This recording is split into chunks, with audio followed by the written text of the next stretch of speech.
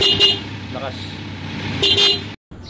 Yun guys, so ngayon pupunta ako sa IJCC Motorcycle Shop. Papapalit ako ng busina. Kasi yung busina niya mahina eh. Palitan natin ng mas malakas.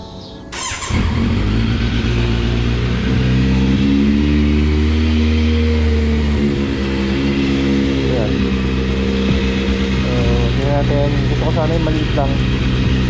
Pero mas Yes, sa stock. Para, ano, hindi na kasi ng busina ng.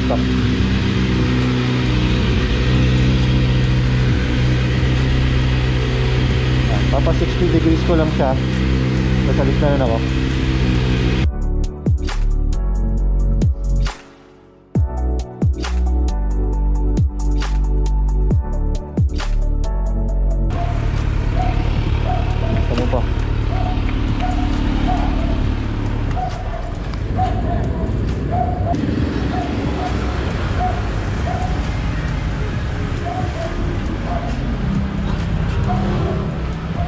Tao po. Pa yung nag-ano, electrical sir? Yung ako pa yung nag-message sa ano eh, sa busina. Ano ba siya po? Pang C900. Dahil akong paklang po pwede ko. Pagka, ah, 1.6 yun, di ba? Tama? Wala naman siyang splice, di ba? No cut noise plate po at. Sige, may relay po na kasama yan. Okay. Kakabit po ako.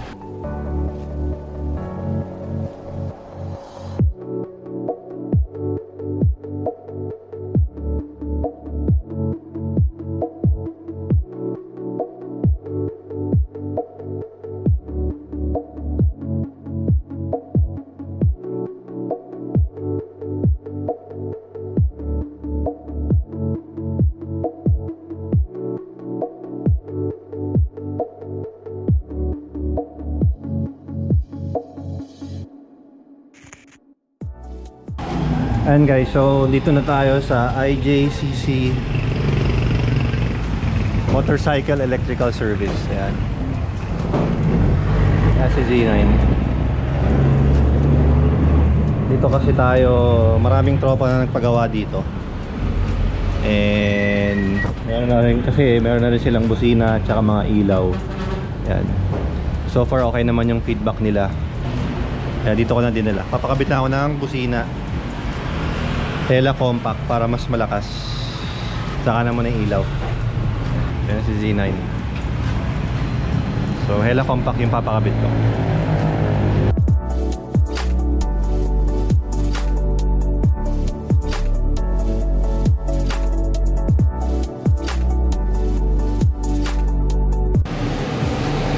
Ayun guys, so malinis yung wiring nila kasi binabalutan nila ng shrinkable tube. Tsaka yung ganito. Ano ta sir, ano tawag sa ganito? Oh, lalagyan daw ng conduit. So, yung wire, shrinkable tube, tapos yung ganyan pa. So, mas maganda siya tingnan, tsaka malinis nga. Ngayon yung wire yung puti. So, babalutan niya ng shrinkable tube. Tapos ito pa yung wire na parang ano sa labas. Ah, mukhang malinis tsaka ano. Stock kasi black lang yung ano, itsura niya.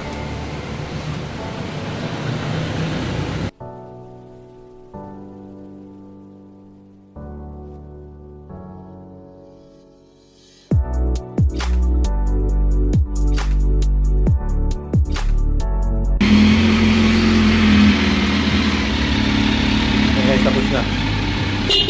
Lakas.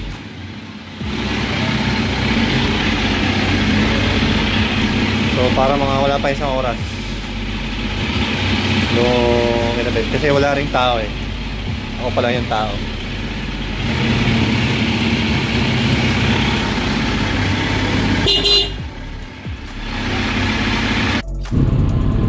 Hey, Park, thank you ah.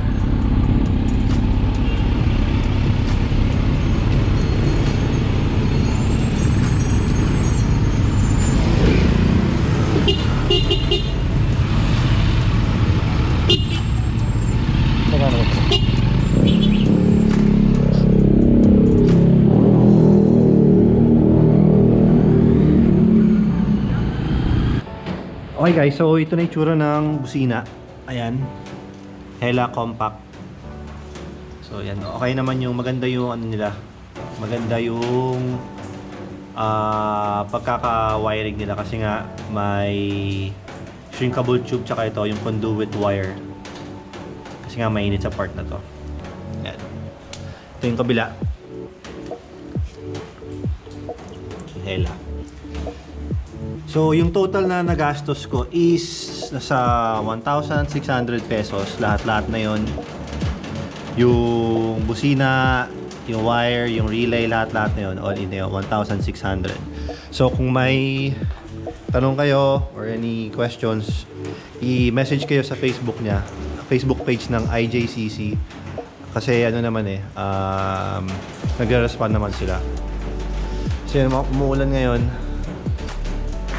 Ah, ngayon ko lang din kasi natapos tong yung video sa Horn. So anyway, tapusin ko na rin yung vlog dito. Thank you guys for watching and see you sa next one.